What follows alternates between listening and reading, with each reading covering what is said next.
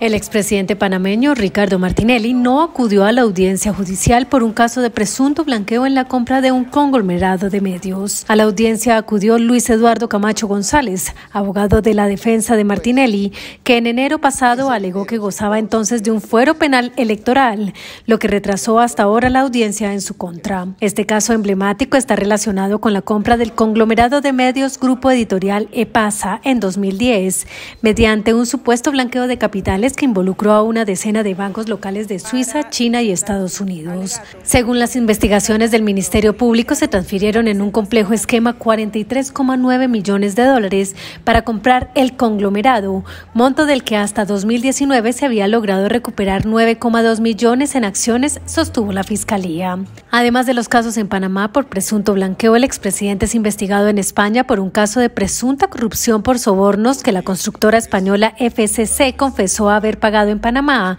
y por otro supuesto espionaje a una mujer en Mallorca.